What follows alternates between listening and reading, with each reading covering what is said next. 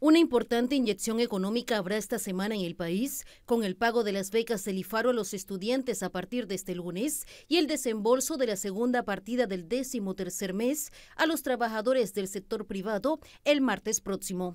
Es decir, que ese movimiento de dinero que se genera en el mes de agosto, producto de ese décimo tercer mes y otros, lo que genera pues es una dinámica en la economía donde el consumo de bienes y servicios genera un impacto en la economía. El economista Olmedo Estrada recomienda tomar en cuenta destinar parte del ingreso al ahorro. Que la familia panameña tome en consideración de que estos ingresos que se reciben en medio año los utilicen de una manera eh, responsable, eh, este, adquiriendo bienes y servicios que sean estrictamente necesarios para la familia y tomar en consideración una porción para el ahorro. Con tanto dinero circulando en las calles, la Policía Nacional brinda recomendaciones a los ciudadanos para evitar que los dueños de lo ajeno cometan sus fechorías.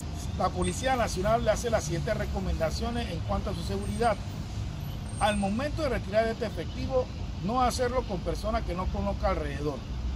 No le pida ayuda a personas que no conoce para el retiro de este efectivo al momento de tenerlo, guárdelo inmediatamente y no lo cuente en público. Al momento de desplazarse, no esté entretenido en las redes sociales. No deje artículos ni mercancías dentro de los vehículos que pueda llamar la atención a los delincuentes. Si usted percibe de que está siendo perseguido, acérquese a una unidad policial inmediatamente.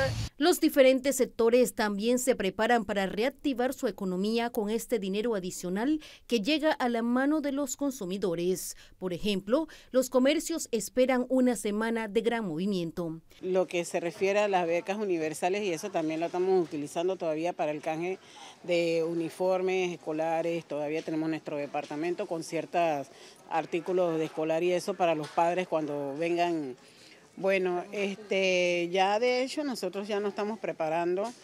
Eh, tenemos muy buenas promociones, muy buenas ofertas. El IFARU ha reiterado a los padres de familia que deben hacer uso adecuado de estos recursos dirigidos a la población estudiantil. El desembolso arrancará este 14 de agosto con los pagos a través de la cédula digital y ACH. Angie de Gracia, Telemetro reporta.